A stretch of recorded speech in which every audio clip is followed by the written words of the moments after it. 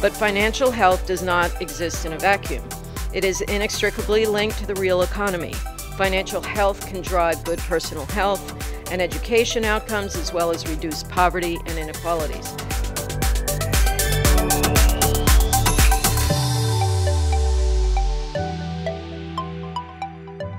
You know, the moment you go beyond your standard metrics of number of accounts, uh, number of loans, and mobile phone penetration, you'd uncover a lot of deeper issues uh, and then fault lines that people face underneath these numbers. Generally, we can agree on uh, one, the individual should have sufficient money to meet their daily needs. They need to have the freedom to be able to make financial choices. And of course, they need to feel financially secure for the future.